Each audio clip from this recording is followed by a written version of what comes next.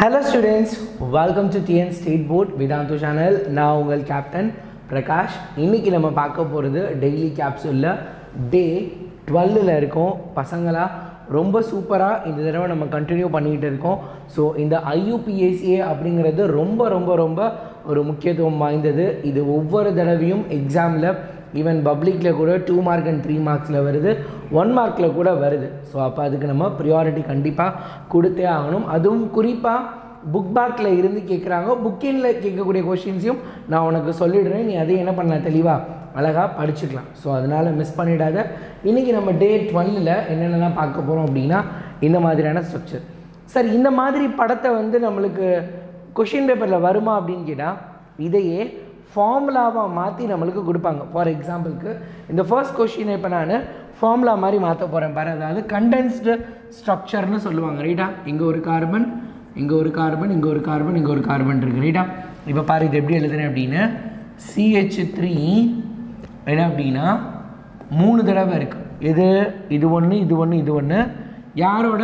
இந்த கார்பனோட அட்டாச் ஆயிருக்கு கார்பன் அது கூட அடுத்து என்ன இருக்குது இன்னொரு கார்பன் இருக்கா?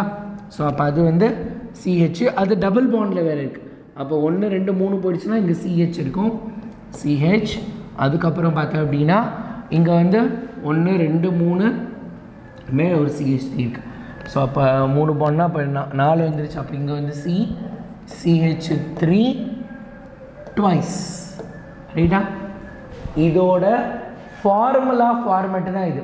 There are question paper where இந்த டயக்ராமை இந்த மாதிரி மாற்றி கொடுத்தாங்கன்னா எப்படி எழுதுறது அப்படின்னு நமக்கு தெரிஞ்சிருக்கணும். ஸோ அதனால் டயக்ராம் கொஷினையும் நீ என்ன பண்ணணும்? பார்த்துக்கணும். பாண்ட் லைன் ஸ்ட்ரக்சரில் இருக்குது பார்த்தியா அதையும் நீ தெரிஞ்சு வச்சுக்கணும். இப்போ இந்த கொஷின் நம்ம ஆன்சர் என்னன்னு இதில் பார்த்துடலாம். ரைட்டா லாங் செயினுக்கு நம்ம நம்பர் கொடுக்கணும். ரைட்டா லாங் செயினுக்கு நம்ம நம்பர் வைக்கணும். அதே மாதிரி டபுள் பாண்டுக்கு கம்மியான நம்பர் வேணும். அதனால் இங்கேருந்து நம்பர் போடுறேன். One two three four five நீ இதில் எதை வேணால் எடுத்துக்கலாம். எல்லாமே ஃபைவ் ஒன்று தான். பிரச்சனை கிடையாது. ஃபைவ்னு என்னதுப்பா?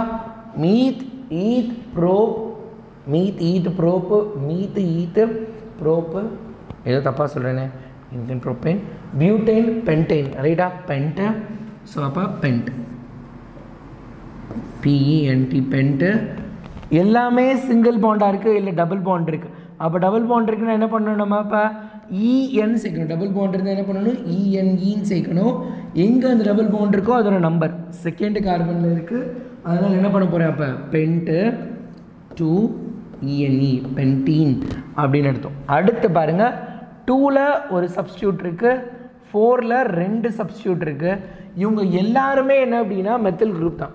இவங்க எல்லாருமே ஒரு ஒரு கார்பன் இருக்கக்கூடிய குரூப்பு மூணு பேருமே மெத்தில் அப்போ ட்ரை மெத்தில்னு நான் எழுத போகிறேன் ரைட்டா ட்ரை மெத்தைல் அப்படின்னு நான் எழுத போகிறேன் இந்த ட்ரை மெத்தைலுக்கு முன்னாடி என்ன எழுதணும் அப்படின்னா ஒவ்வொருத்தவங்களும் எந்த இடத்துல அட்டாச் ஆகிருக்காங்களோ அவங்களோட நம்பர் எழுதணும்.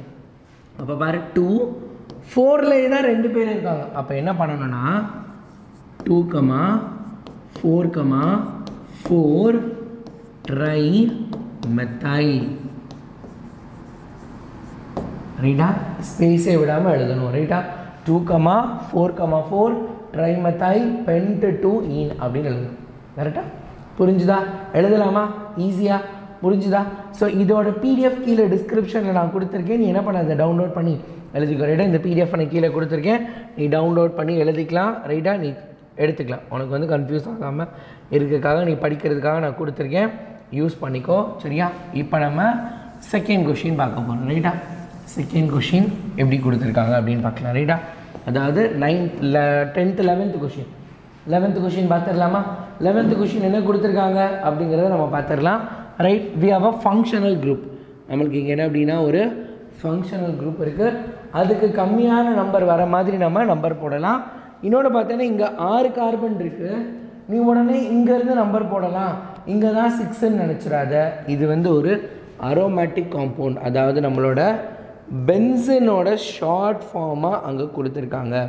இங்கே வந்து என்ன அப்படின்னா இப்படி பென்சினோட கனெக்ட் ஆகிருக்குன்னு அர்த்தம். அதனால் இதை நம்ம தனியாக எடுத்துக்க முடியாது. இதில் இருக்க கார்பனாக ஆறு கார்பன் எடுத்துக்கக்கூடாது ஸோ இதை தான் நம்ம எடுத்துக்கணும். ஏன்னா ஃபங்க்ஷனல் குரூப் லாங் செயினில் தான் அட்டாச் ஆகிருக்கு ஃபங்க்ஷனல் குரூப் எங்கே இருக்கோ அதுக்கு தான் ப்ரியாரிட்டி நம்ம கொடுத்தாகணும். அதனால் என்ன பண்ண போகிறோம் இதை நம்ம எடுத்துக்க போகிறோம் ஸோ அப்போ இதை ஒன்றாவது கார்பன் எடுத்துக்க போகிறோம் ரைட்டாக ஒன்றாவது கார்பன் ரெண்டு மூணு. இது கூட மூணு எடுத்துக்கலாம் பிரச்சனை இல்லை. ஒன் டூ த்ரீன்னு எடுத்துக்க போகிறேன் ரைட்டா ஒன்னில் தான் கனெக்ட் ஆகிருக்கு ரைட்டா த்ரீனா என்னதுப்பா? மீத் ஈத் ப்ரோப் ரைட்டா அப்போ ப்ரோப்பு ப்ரோப் ஒன் டூ த்ரீல எல்லாமே சிங்கிள் பாண்டு அப்போ ப்ரோப் ஏன்? ப்ரோப்பைனோட ஒன்றாவது கார்பனில் ஒரு அமைன் குரூப் இருக்குது ப்ரோப்பைனோட ஒன்றாவது கார்பனில் அப்போ prop one amine prop one amine அதே ப்ரோப்பில் பார்த்தா அப்படின்னா ஒன்றாவது கார்பனில் ஒரு ஃபினைல் குரூப்பு இதுக்கு பேர் என்ன அப்படின்னா பென்சினை வந்து நம்ம முன்னாடி சப்ஸ்டியூட் எழுதுறப்ப அதுக்கு ஃபினைல்னு நம்ம சொல்லுவோம். அப்போ ஒன் ஃபினைல் ஒன்று இருக்குது ஃபினைல்னு என்னது? பீல ஆரம்பிக்கும். அடுத்து மெத்தல் குரூப் இருக்குது ரைட்டா மெத்தல் எங்கே இருக்குது டூவில் ஒரு மெத்தல் இருக்குது அல்ஃபபெட்டிக் ஆர்டரில் எம் வருமா? பி வருமா? எல்எம்என்ஓபி எம்க்கு அப்புறம் தான் பி வரும். ஸோ அப்போ ஃபஸ்ட்டு மெத்தில் குரூப் எழுதுங்க. டூ மெத்தைல் டூ மெத்தைல் அதுக்கப்புறம் என்ன இருக்கு? One phenyl two methyl one phenyl propan one amine ரைட்டா ஸோ இதான் என்ன அப்படின்னா இந்த செகண்ட் ஒன்னோட ஆன்சர் ஸோ எப்படி நம்பர் போட்டிருக்கேன்? எங்கேருந்து நம்பர் போட்டிருக்கேன்? எல்லாமே நான் கொடுத்துருக்கேன். பிடிஎஃபை மறக்காமல் டவுன்லோட் பண்ணிக்கோ. அப்போ தான் உனக்கு யூஸ்ஃபுல்லாக இருக்கும் நீ படிக்கிறதுக்கு. சரியா? பிடிஎஃப் மறக்காமல் டவுன்லோட் பண்ணிக்கோ. கீழே டிஸ்கிரிப்ஷனில் கொடுத்துருக்கேன். பிடிஎஃபை மறக்காமல் டவுன்லோட் செய்து கொள்ளவும். அடுத்து டுவெல்த் ஒன் இந்த கொஷின் பார்க்கலாம். என்ன கொடுத்துருக்காங்க இதில்? டுவெல்த் ஒன்னை பொறுத்த வரைக்கும் பார்த்தா அப்படின்னா இங்கே என்ன ஃபங்க்ஷனல் குரூப் இருக்குது இங்கே ஒரு ஃபங்க்ஷனல் குரூப் இருக்குது சி டபுள் பாண்ட் ஓ அப்படிங்கிறது என்னது? கீட்டோன் ஃபங்க்ஷனல் குரூப் ஒன்று இருக்குது அதே மாதிரி இங்கே ஒரு ஃபங்க்ஷனல் குரூப் இருக்குது ரைட்டா இது வந்து என்னது? நைட்ரைல் நைட்ரைல் ஃபங்க்ஷனல் குரூப்னு சொல்லுவாங்க. சைனைடு நம்ம எழுதுகிறப்ப நைட்ரைல்னு எழுதுகிறோம் நைட்ரைல் ஃபங்க்ஷன் யாருக்கு ப்ரியாரிட்டி கொடுக்கணும்?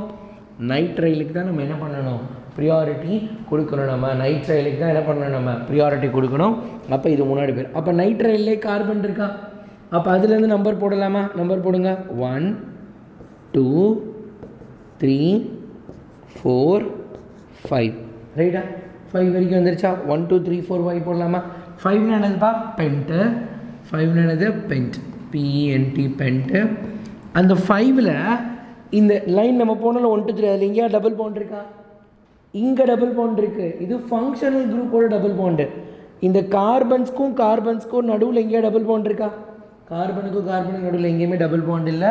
அப்போ என்னது இது? பென்ட்டு ஏஎன் பென்ட்டு ஏஎனில் ஒன்றாவது கார்பன்லேயே நைட்ரல் இருக்குது அதனால் நீங்கள் பென்ட்டு ஒன் நைட்ரல் எழுதினாலும் சரி இல்லை எழுதாம விட்டாலும் சரி. ஏன்னா சேம் கார்பன் செயின்லேயே ஃபங்க்ஷனல் குரூப் இருந்தால் பொசிஷனை மென்ஷன் மென்ஷன் பண்ண தேவையில்லை. பென்ட்டு ஒன் நைட்ரைல் அதுக்கப்புறம் பார்த்தீங்கன்னா இது என்னது? கீட்டோன் கீட்டோனை முன்னாடி எழுதுகிறப்ப எப்படி எழுதுவோம்? ஆக்ஸோன் எழுதணும். அதே சமயத்தில் பாரு டூவில் இங்கே ஒரு மெத்தில் குரூப் இங்கே ஒரு மெத்தில் குரூப் இருக்குது அப்போ Mathai M L M N O ரைட்டா எம்என்ஓ ரைட்டா அப்போ எம்முக்கு தான் என்ன பண்ணணும்? நீ ஃபஸ்ட்டு ப்ரியாரிட்டி கொடுக்கணும். அப்போ எம் எழுதிட்டு தான் அதுக்கப்புறம் அதை எழுதணும். எம் பாரு என்னது? ரெண்டு இருக்குது ரெண்டு மெத்தில் குரூப் அப்போ ரெண்டுமே டூவில் தான் இருக்குது அப்போ என்ன பண்ணணும் அப்படின்னா பேர் எழுதுகிறப்ப two comma two dimethyl ரைட்டா two comma two dimethyl two comma two dimethyl அதுக்கப்புறம் என்ன இருக்குது ஃபோரில் ஆக்ஸோ இருக்குது four oxo pentan one nitrile அப்படின்னு அர்த்தம். இதானது இதோட ஆன்சர் கிளியரா புரிஞ்சுதா? டே ரொம்ப ஈஸியான ஒரு கான்செப்ட்டு ஈஸியான சாப்டரு ஈஸியான கொஷின்ஸு நீ கொஞ்சமாக கவனிக்கலை ஏதாவது மிஸ் பண்ணிட்ட அப்படின்னா உனக்கு அப்புறம் கன்ஃபியூஸ் ஆகிடும் ஸோ ஒவ்வொன்றும் கவனமாக பாரு. நான் திருப்பி இந்த சாப்டரோட ஒன் ஷாட் போடுறப்ப அதையும் தொடர்ந்து பாரு. டெய்லி ஒரு பத்து நிமிஷம் நம்ம படிக்கிறோம். இந்த பத்து நிமிஷத்தில் நீ வந்து என்ன பண்ணலாம்? நிறைய விஷயங்கள் படிக்க முடியும். ஸோ அதனால் இது எதையுமே மிஸ் பண்ணுறாது ரைட்டா next question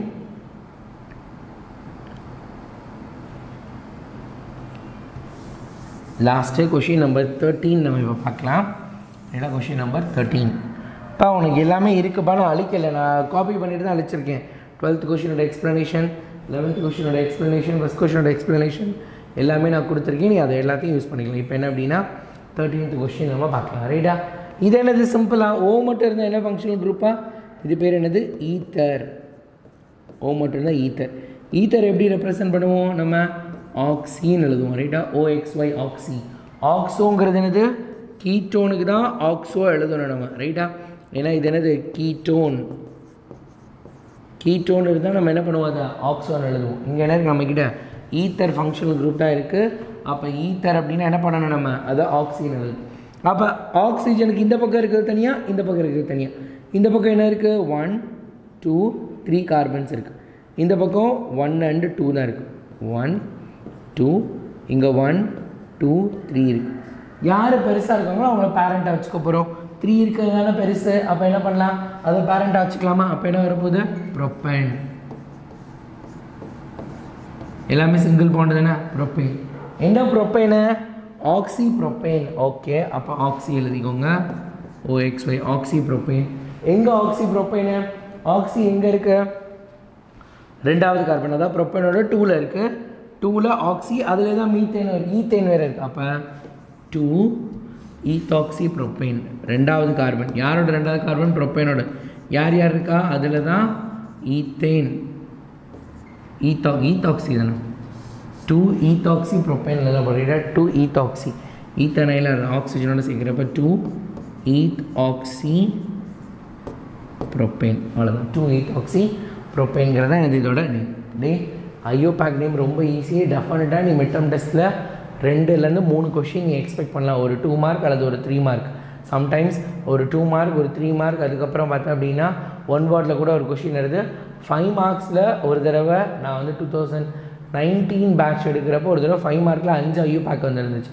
so five mark நீ வந்து சிக்ஸ்த்து லெசன் கேசியஸ் ஸ்டேட்டில் டால்டன்ஸ்லாம் இருக்கா? அந்த பெரிய டெரிவேஷன் அது எழுதுறதுக்கு இது எவ்வளவோ ஈஸியான விஷயம் ஈஸியாக நீ படிச்சிடலாம். சரியா? அதனால் கவனமாக ஞாபகம் வச்சுக்கோ. டூ ஈத்தாக்சி ப்ரொப்பேன் அப்படிங்கிறதுலாம் விஷயம். ஓகே கிளியரா புரிஞ்சுதா? Two ethoxy propane clear right so இன்றைக்கோட என்ன அப்படின்னா நம்ம தேர்ட்டீன் ஐயூ பேக் படிச்சிருக்கோம்.